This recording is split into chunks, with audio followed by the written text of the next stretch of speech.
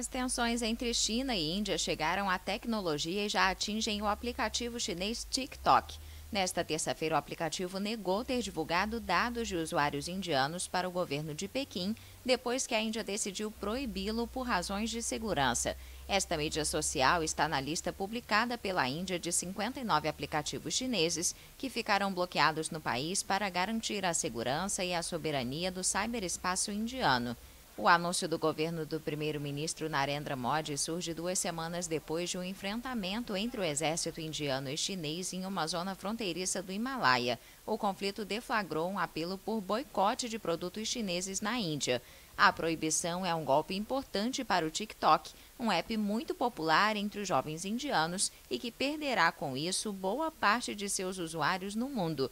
O aplicativo permite publicar vídeos de poucos segundos, nos quais os usuários se filmam cantando, dançando ou fazendo brincadeiras. O bloqueio de aplicativos chineses, que também afeta o WeChat, o Weibo e o jogo Clash of Kings, acontece em um contexto de alta tensão entre Nova Delhi e Pequim.